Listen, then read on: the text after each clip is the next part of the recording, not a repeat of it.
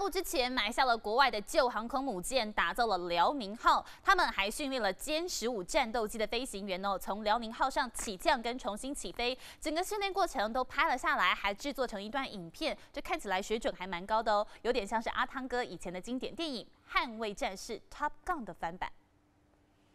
这部名为《为梦想领跑》的 MV 长度六分多钟。一开始就有阿汤哥汤姆克鲁斯八零年代主演的电影《捍卫战士》Top Gun 的味道，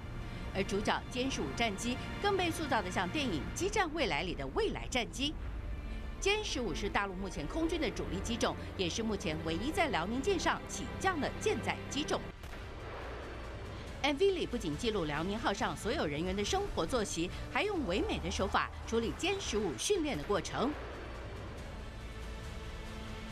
抽军刀的桥段，戏剧性的点出歼十五和辽宁号在大陆航母发展史上的地位。通过直升机空中拍摄以及机舱内安装的多个摄影镜头，多角度忠实呈现空中飞沙歼十五起降、翻滚、作战的剽悍性。